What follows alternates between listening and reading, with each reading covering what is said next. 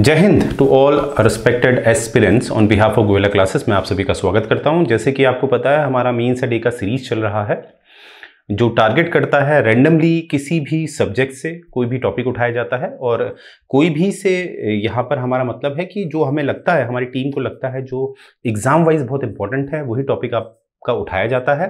और यहाँ पर मैंने हमेशा कहा है, दो लोगों को बहुत फ़ायदा होने वाला है। एक, जिन्होंने ऑलरेडी तैयारी करी है और जो रिवीजन कर रहे हैं, इसीलिए कहीं पर भी उठाया जा रहा है ये केस जो भी टॉपिक होते हैं। और जो हमारे नए बिगनर्स हैं, उनके लिए हम क्या करते हैं कि जो भी टॉपिक आपको पढ़ाया जाता है, वो बेसिक से पढ़ाया जाता है। इसीलिए जो बिगनर्स हैं, उनको भी प्रॉब्लम ना हो।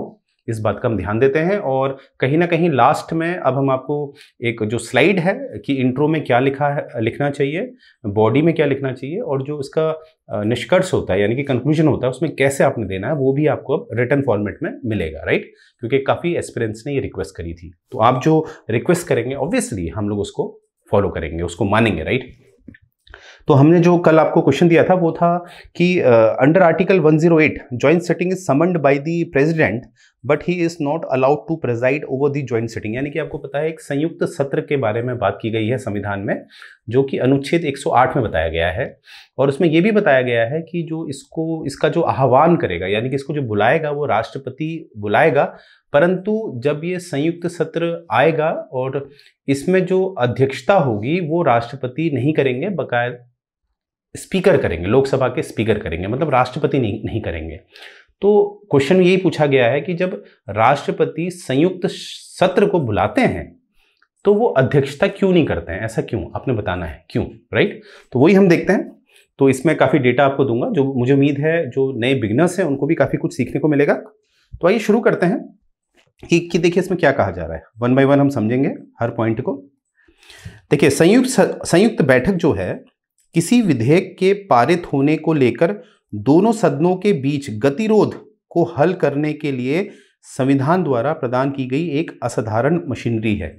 देखिए, कभी कोई गतिरोध हो जाता है। गतिरोध का मतलब है यहाँ पर, जैसे मानते हैं कोई विधेयक है, वो लोकसभा में पारित हो गया है, फिर वो राज्यसभा में पारित नहीं हो पा रहा है, या राज्यसभा से पारित हो गया है, परंतु वो लोकसभा में पारित नहीं हो पा रहा है। और कहीं ना कहीं ऐसा प्रतीत होता है कि ये जो विधेयक है, ये समाज के लिए बहुत महत्वपूर्ण है। तो ये जो एक गतिरोध बन गया है, एक एक जो ब्लॉकेज बन गया है, इसको सॉल्व करने के लिए, इसका निवारण निकालने के लिए संयुक्त सत्र या संयुक्त बैठक का एक नियम दिया गया है संविधान के द्वारा अनुच्छेद 108 में वो बताया गया है, राइट? और यहाँ पर आप देखेंगे, आपको एक बात दिखेगी, ये एक असाधारण मशीनरी है। असाधारण मतलब है। देखिए, साधारण का मतलब होता है, अगर ये साधारण है तो वो हर संविधान, हर देश के संविधान में आपको दिखेगा। परंतु असाधारण का मतलब है कि ये जो नियम है, ये आपको कहीं कहीं पर दिखेगा, जहाँ पर गुंजाइश होती है कि जो विधेयक हैं, वो कहीं ना कहीं फंस जाते हैं क्योंकि कभी कभी अहम की बात हो जाती है, क्योंकि आप जानते हैं भारत में अलग अलग धर्म के लोग हैं और उन धर्मों में भी कभी कभी जातियाँ काफ़ी पाई जाती हैं। तो जब इतनी भिन्नताएँ होती हैं, इतनी डाइवर्सिटीज़ होती हैं तो वो धार्मिक बातें या जो भिन्नताएँ हैं, वो कभी ना कभी एक आदमी के जो विधायिका बनाने वाली प्रक्रिया होती है, जो लॉ मेकिंग प्रोसेस होती है, उसमें दिखाई देती है। तो इसीलिए भारत की इतनी भिन्नताओं को मद्देनज़र रखते हुए एक इस तरह का नियम दे रखा है, संयुक्त बैठक वाला। इसीलिए थोड़ा असाधारण है, जो आर्टिकल 108 में दिया गया है, राइट? आगे बढ़ते हैं। अब देखिए, पिक्चर में आपको दिख रहा होगा, यहाँ पर आप देख पा रहे होंगे, एक ट्रैफ़िक जैम लग गया है, यानी कि यहाँ पर अब ये जो ट्रैफ़िक है, जो पहले चल रहा था, अब ट्रैफ़िक जैम की वजह से ये रुक गया है। तो यही सिद्धांत इसके, इसमें भी लागू होता है, कि यहाँ पर जो विधेयक चल रहा था, वो रुक गया है, ठीक है?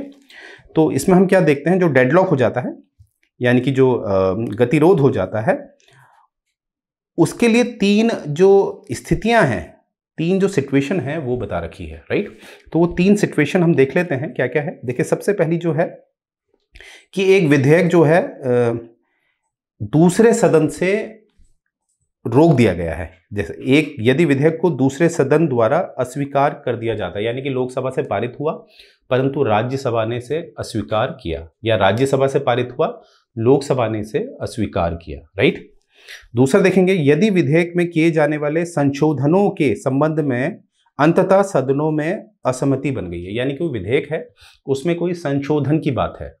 अब संशोधन को लेके दोनों ही सदन आपस में लड़ गए हैं, राइट? तब भी एक गतिरोध की स्थिति उत्पन्न हो जाती है, राइट? और तीसरा देखते हैं, यदि दूसरे सदन द्वारा विधेयक को पारित किए बिना, विधेयक की प्राप्ति की तारीख से छह महीने से अधिक समय व्यतीत हो गया है। यानी कि मान लीजिए, एक एक सदन से दूसरे सदन में विधेयक गया है और दूसरे सदन ने उसमें कोई प्रतिक्रिया जो होती है, वो ज़ाहिर नहीं की है। मतलब ना वो हाँ कह रहा है, ना कह रहा है और जो विधेयक है, उसको छह माह से ज़्यादा हो गया तो ऐसे विधेयक के लिए, जिसे छह माह से ज़्यादा हो गया है और प्रतीत होता है कि ये विधेयक में जुड़े हुए मुद्दे जो हैं, वो समाज के लिए अति महत्वपूर्ण हैं तो इस आधार पर पर भी संयुक्त बैठक का आह्वान किया जाता है माननीय राष्ट्रपति द्वारा, राइट? तो ये तीन स्थितियाँ हैं जो एक आधार बनती हैं ये संयुक्त बैठक का आह्वान कराने के लिए जो कि राष्ट्रपति करते हैं राइट तो आगे देखते हैं। अब ध्यान से देखेंगे कि जो हमने अभी तीन स्थितियाँ देखी तो उपरोक्त तीन स्थितियों में राष्ट्रपति, देखिए, अभी वर्तमान में हमारे राष्ट्रपति कौन है? द्रौपदी मुर्मू जी। तो राष्ट्रपति विधेयक पर विचार विमर्श और मतदान के उद्देश्य से दोनों सदनों को संयुक्त बैठक में बुला सकते हैं। तो बुलाएगा कौन? याद रखेंगे, राष्ट्रपति। ये बात याद रखेंगे। अब देखिए, यहाँ पर आपको एक बात समझनी है कि हर विधेयक पे संयुक्त बैठक नहीं की जा सकती है। अब हर विधेयक से क्या तात्पर्य है मेरा? पहले हमें इसका उत्तर जानने के लिए यह समझना पड़ेगा कि विधेयक के कितने प्रकार होते हैं। तो जो विधेयक होते हैं, वो चार प्रकार के होते हैं। विधेयक जो होते हैं, वो चार प्रकार के होते हैं। एक होता है ऑर्डिनरी यानी कि साधारण एक होता है फाइनेंशियल यानी कि वित्तीय, एक होता है मनी यानी कि धन विधेयक, और एक होता है कॉन्स्टिट्यूशनल अमेंडमेंट यानी कि संवैधानिक संशोधन विधेयक। तो देखिए कि कब संयुक्त बैठक की जाएगी? जब विधेयक सामान्य होगा या विधेयक वित्तीय होगा, जिसे हम इंग्लिश में सामान्य को कहते हैं ऑर्डनरी बिल और वित्तीय को कहते हैं फाइनेंशियल बिल और ये भी याद रखेंगे, अगर जो विधेयक है वो धन विधेयक है, यानी कि मनी बिल है, या संविधान संशोधन यानी कि कॉन्स्टिट्यूशनल अमेंडमेंट से संबंधित बिल है। तो उसमें आप अनुच्छेद 108 यानी कि संयुक्त बैठक नहीं बुला सकते। वेरी इंपॉर्टेंट ये पॉइंट आपने बिल्कुल याद रखना है राइट तो कभी कभी प्रश्न बन जाते हैं इससे। तो मुझे उम्मीद है ये आप समझ पाए होंगे। तो इस स्लाइड से हम क्या सीखे? कि जो विधेयक होते हैं वो चार प्रकार के होते हैं और हमने ये भी देखा कि अनुच्छेद 108 का आह्वान केवल दो ही जो विधेयक है उन पर किया जा सकता है, पहले साधारण, दूसरे वित्तीय। नेक्स्ट देखते हैं। अब देखिए, जो ये जो आप देख रहे होंगे, ये साइड में आपको जो दिख रहे हैं, ये वर्तमान में हमारे लोकसभा के स्पीकर हैं, जिनका नाम है ओम बिरला साहब जो हैं। अब यहाँ पर हमने क्या देखना है कि लोकसभा के जो अध्यक्ष होते हैं, वो जो संयुक्त बैठक होती है, उसकी अध्यक्षता करते हैं। कौन? लोकसभा के जो स्पीकर होते हैं। मतलब सबसे पहले जो प्राथमिकता दी जाती है, संयुक्त बैठक की, वो दी जाती है लोकसभा के स्पीकर को, जो वर्तमान में कौन है? ओम बिरला। ये बात याद रखेंगे। मान लेते हैं, ये किसी कारणवश उपस्थित नहीं है तो जो उपाध्यक्ष होते हैं, यानी कि जो डिप्यूटी स्पीकर होते हैं लोकसभा के, उनको बुलाया जाएगा। मानते हैं वो भी नहीं है। फिर किसको बुलाया जाएगा? फिर राज्यसभा के डिप्यूटी चेयरमैन, क्योंकि राज्यसभा के जो चेयरमैन होते हैं, वो उपराष्ट्रपति होते हैं तो उनको नहीं बुलाया जाता है। डिप्यूटी चेयरमैन को बुलाया जाता है राज्यसभा के। और मानते हैं वो भी नहीं है। फिर जितने भी संयुक्त बैठक में जितने भी सदस्य हैं, फिर वो एक मेजोरिटी के हिसाब से निर्णय लेते हैं कि जो संयुक्त बैठक है, उसमें कौन अध्यक्षता करेगा। उन्हीं में से एक व्यक्ति का वो नाम दे देते हैं। तो ये जो सीरीज़ मैंने आपको बताई है, पहले स्पीकर फिर डिप्यूटी स्पीकर फिर डिप्यूटी चेयरमैन राज्यसभा का, फिर उन्हीं में से कोई सदस्य। ये सीरीज़ आपने याद रखनी है। यही बात बता रखी है यहाँ पर राइट तो मुझे उम्मीद है ये आपको समझ में आया होगा। तो प्राथमिकता कौन है? स्पीकर अब डायरेक्ट मुद्दे पे आते हैं। जो भी मैंने आपको प्रक्रिया बताई है, जिससे कि आपको पता रहे बैकग्राउंड क्या होता है, संयुक्त बैठक क्या होती है। अब प्रश्न है कि राष्ट्रपति जो है, संयुक्त बैठक के अध्यक्ष क्यों नहीं होते हैं? देखिए, क्या है? राष्ट्रपति की जो भूमिका होती है, वो काफ़ी हद तक गैर राजनीतिक होती है। देखिए, समझिए, गैर राजनीतिक से यहाँ क्या तात्पर्य है?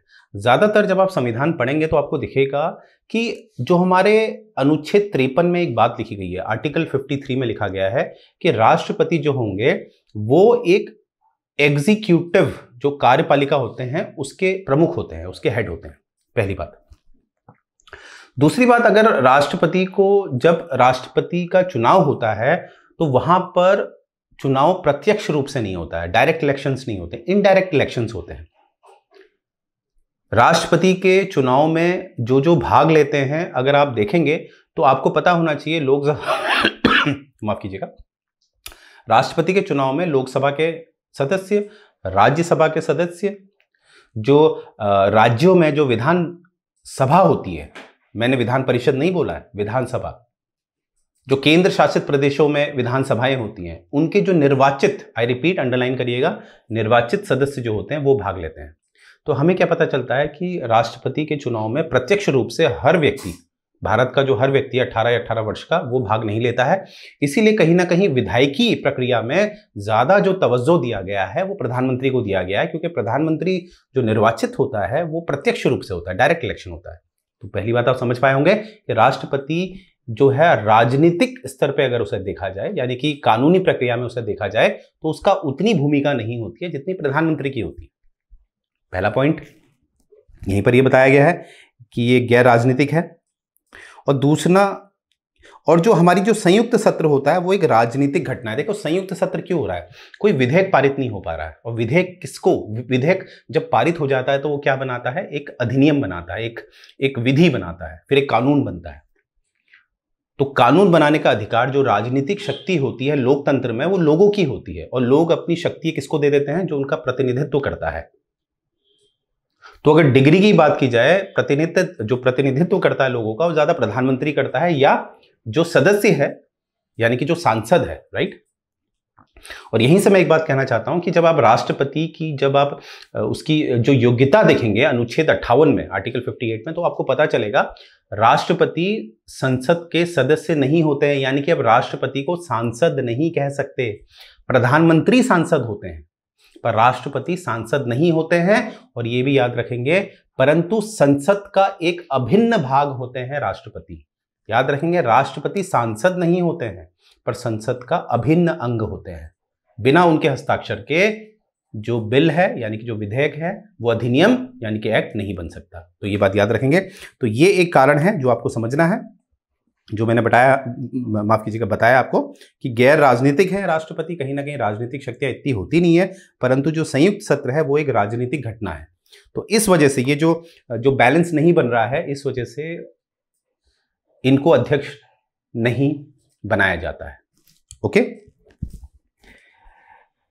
अब देखिए जो भी मैंने आपको पढ़ाया, अब उसको मीन्स राइटिंग में रखते हैं। तो देखिए इंट्रो में आपने क्या रखना है? इंट्रो में आपने थोड़ा संयुक्त बैठक के बारे में बता देना है। आप देख पा रहे होंगे कि संयुक्त बैठक किसी विधेयक के पारित होने को लेकर दोनों सदनों के बीच गतिरोध को हल करने के लिए संविधान द्वारा प्रदान की गई एक असाधारण मशीनरी है, जो मैंने स्टार्टिंग में आपको बताया था कि आपने संयुक्त सत्र को पूछा गया ना, यानी कि संयुक्त सत्र की बैठक में राष्ट्रपति क्यों नहीं बैठते हैं? तो संयुक्त सत्र, मुद्दा क्या है? संयुक्त सत्र। तो संयुक्त सत्र में आपने थोड़ा संयुक्त सत्र के बारे में बता देना है। और आगे क्या देखना है? संयुक्त बैठक में से संबंधित प्रावधानों को अनुच्छेद 108 के तहत परिभाषित किया गया है। अब देखो, परिभाषित अगर आप ये लिख देते हैं किस अनुच्छेद में किया है तो अनुच्छेद 108 है तो इससे जो आपकी कॉपी चेक कर रहा है, वो जानता है आपने संविधान पढ़ा है। अगर आप 108 अनुच्छेद को नहीं दर्शाते हैं तो मार्क्स उतने नहीं मिलेंगे, क्योंकि किसी व्यक्ति है जो आपका कॉम्पिटिटर है, जो आपके एग्ज़ाम में बैठा है, उसने अनुच्छेद 108 लिखा हुआ है। तो आपने 108 लिखना है, अगर कोई संवैधानिक बातें होती हैं। तो संविधान के वो किस भाग में है, किस अनुच्छेद में है तो वो अगर आप लिखते हैं तो आपके मार्क्स बढ़ते हैं। तो इंट्रो आप देख पा रहे होंगे कि इंट्रो को हमने शॉर्ट रखना होता है, ये आपने देखा। अब हम बात करते हैं बॉडी की। बॉडी में ज़्यादातर हमने देखा है कि मेन मुद्दा है कि राष्ट्रपति क्यों सदस्य आई मीन क्यों अध्यक्ष नहीं होते हैं। तो यहाँ पर हम देखेंगे। सीधे बॉडी में हमने वही बात उठाई है कि राष्ट्रपति विधेयक पर विचार विमर्श और मतदान के उद्देश्य से दोनों सदनों को एक संयुक्त बैठक में बुला सकते हैं। तो आह्वान कौन करता है? राष्ट्रपति। राष्ट्रपति की भूमिका काफ़ी हद तक गैर राजनीतिक है। वो मैं बता चुका हूँ। इनकी भूमिका ज़्यादातर क्या होती है? गैर राजनीतिक है। मतलब ये एक कार्यपालिका के प्रमुख होते हैं। जैसे ये अपॉइंटमेंट कराते हैं, जज की नियुक्ति कराते हैं, जो प्रधानमंत्री होते हैं, उनकी नियुक्ति कराते हैं। इस तरह के काम इनको दिए गए हैं, राइट? और संसद की संयुक्त बैठक एक राजनीतिक घटना है। ये है गैर राजनीतिक है। और बैठक क्या है? राजनीतिक है। तो ये जो संतुलन बन नहीं रहा है, ये संतुलन कहाँ है? राष्ट्रपति, गैर राजनीतिक और बैठक राजनीतिक। तो ये ये जो संतुलन बन नहीं रहा है, इसी वजह से नहीं बैठाया जाता है। जहाँ सरकार की नीतियाँ और कानून पर चर्चा और बहस होती है, संयुक्त सत्र में क्या होता है? सरकार की नीतियाँ और जो कानून पर चर्चा है, बहस होती है, वो होती है इसमें। यदि हम राष्ट्रपति की योग्यता पर विचार करते हैं तो हमें पता चलता है कि भारतीय संविधान के अनुच्छेद अट्ठावन के तहत योग्यता कहाँ है? अट्ठावन में। ये बात याद रखेंगे। देखिए, मैंने इसको हाईलाइट किया है, अट्ठावन। योग्यता कहाँ है? अट्ठावन। तो इस तरह का आपको पता होना चाहिए, अनुच्छेद। ज़्यादा मार्क्स मिलेंगे। और इसको हाईलाइट करवा देना। आप दूसरी पेन इस्तेमाल करके इसको हाईलाइट कर लिए, कर लीजिए, जिससे कि एग्जामिनर इसको देखे। तो अनुच्छेद अट्ठावन के तहत, वह संसद का सदस्य नहीं है। संसद का सदस्य नहीं है। यानी कि एक राष्ट्रपति सांसद नहीं होता है। ये बात याद रखेंगे। ठीक है? जब आप अनुच्छेद अठावन पढ़ेंगे 58 पढ़ेंगे तो आपको दिखेगा कि उसकी योग्यता लोकसभा के सदस्य के बराबर होनी चाहिए, परंतु ये नहीं लिखा है कि उसे लोकसभा का सदस्य होना अनिवार्य है। यानी कि राष्ट्रपति सांसद नहीं होता है। तो अठावन में ये बात लिखिए, बल्कि वह संसद का एक अविभाज्य अंग है मतलब इनसेपरेबल पार्ट है। क्योंकि अगर कोई भी विधेयक कानून कैसे बनता है? लोकसभा में पारित, राज्यसभा में पारित, यानी कि दोनों सदनों में पारित, अंत में राष्ट्रपति के हस्ताक्षर, तभी जाके एक विधेयक जो है अधिनियम का रूप लेता है कानून का रूप लेता है। तो ये कारण है ठीक है? तो पहले तो वो सांसद नहीं है दूसरा वो एक गैर राजनीतिक ज़्यादा भूमिका होती है उसकी। तो ये जो कारण है इस वजह से हम कह सकते हैं कि कहीं ना कहीं वो आ, मतलब ये जो हमने पॉइंट लिखे हैं अब अंत में हम इसी के आधार पर क्या निकालेंगे? जो इसका रस है जो लास्ट में निचोड़ निकालेंगे ठीक है? अथा संयुक्त अब हमने बॉडी में क्या लिखा है? एक और पॉइंट अथा संयुक्त सत्र की अध्यक्षता करने के लिए संसद का सदस्य होना आवश्यक है। मतलब हमने कंडीशन भी दिखा दी है कि भैया, अगर संयुक्त सत्र है तो उसमें एक क्या, एक क्वालिफिकेशन है मतलब क्या होना अनिवार्य है? तो अनिवार्य क्या है? सदस्य होना आवश्यक है। इसीलिए तो राज्यसभा के जो चेयरमैन हैं, उनको भी नहीं बैठाया जाता है ज्वाइंट सिटिंग में।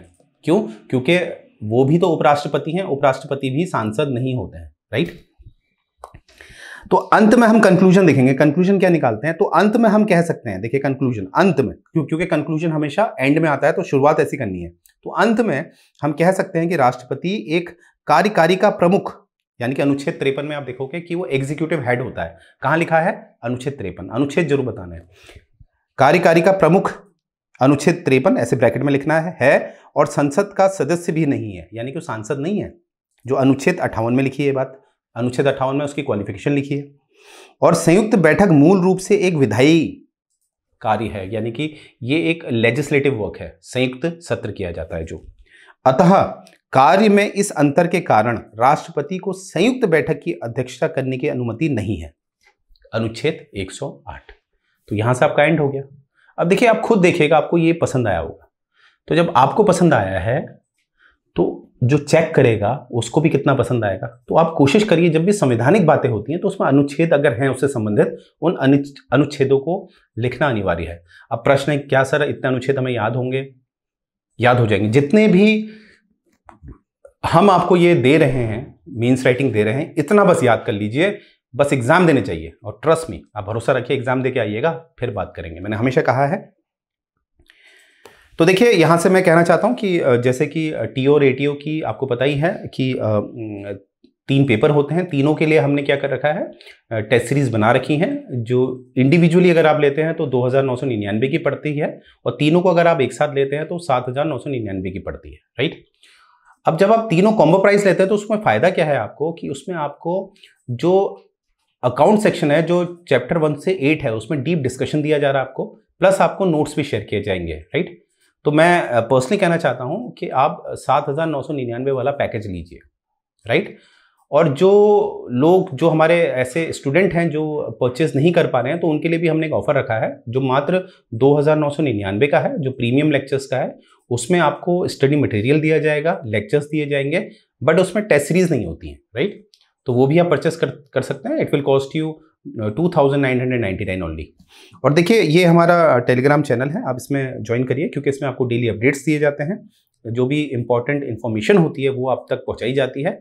तो फटाफट ये टेलीग्राम चैनल पे आप ज्वाइन कर लीजिए राइट और अपनी पढ़ाई को बेहतर बनाइए, अपनी तैयारी को बेहतर बनाइए। तो मुझे उम्मीद है आपको मेरा ये लेक्चर पसंद आया होगा। जय हिंद।